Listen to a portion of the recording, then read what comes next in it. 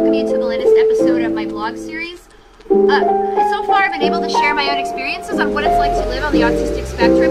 A second thing that I will do is give my two cents on autism in the media. A third area entails providing tips and advice for those of you who are on the spectrum, as well as your friends, family members, peers, mentors, educators, employers. And finally, I will cover topics on things that I'm passionate about,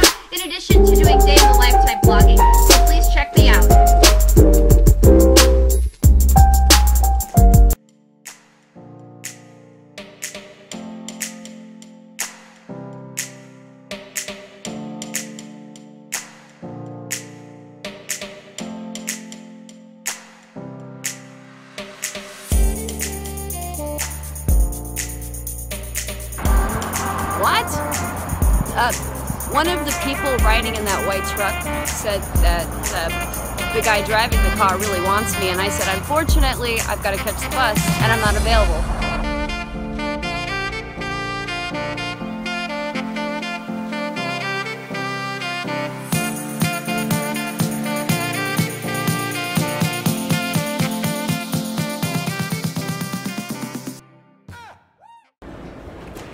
It's a little chilly this morning, and I'm on my way downtown uh, Atlanta to Georgia State University for the uh, annual event related to the Atlanta Science Festival. I have talked about this event before, and this is the first time I've actually captured it for you to see. Uh, I wanted to again let you know that I'm really happy to be back here uh, posting videos on my YouTube channel. Again, I'm uh, sorry about the delays, but uh, I've really enjoyed doing those uh, YouTube live sessions. In fact, if you want to uh, learn more about me, please be sure to check those out. But anyway, I'm about to dive in and get myself a little bit of uh, breakfast this morning.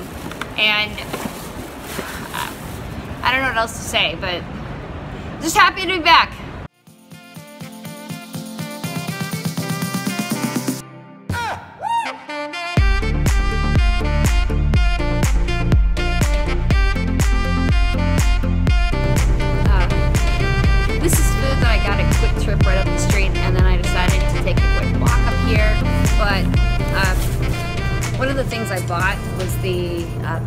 New flavor at Diet Coke. Uh, this one is the blueberry acai. Now, I'm not the biggest fan of acai berry flavor.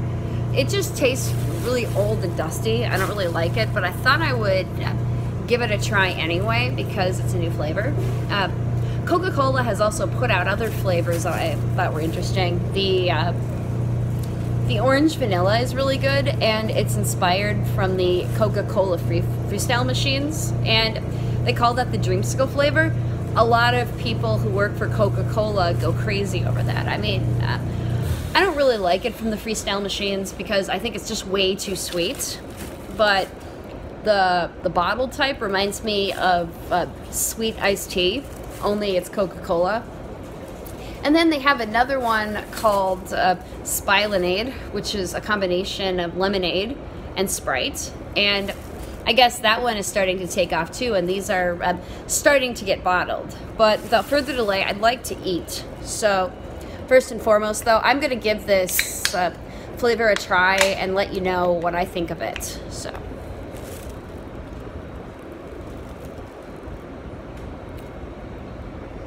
Um, honestly, I don't taste blueberries in this. And I don't really taste acai berry.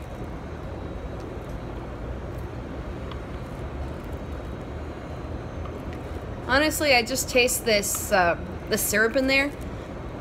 Actually, this Diet Cola, this flavor, it tastes like cough syrup. I don't think I'll be buying this one again.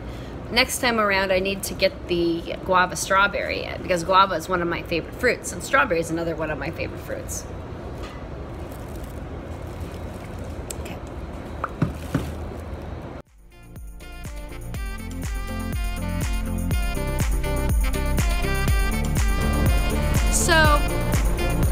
Two things happened. Number one, I ended up uh, allowing the taste of that uh, acai blueberry flavored Diet Cola to really grow on me.